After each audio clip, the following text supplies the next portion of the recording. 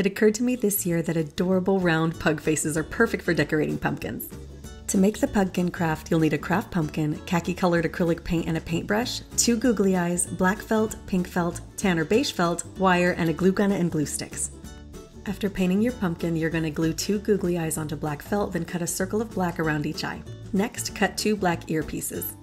To make the muzzle, cut an oval into black felt followed by two teardrop shaped pieces and a nose piece. Cut a tongue shape into the pink felt, then place it on the muzzle tucked in, and then glue everything together.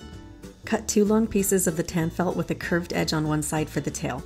Add a wire down the middle, then glue it together, and then curl it like a pug's tail.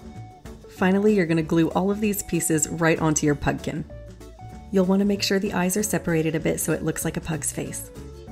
I tried to get some shots with my two pugs and the pugkin, but that was a little bit of a fail. Still, it's an adorable decoration. Visit fabeveryday.com for the full instructions.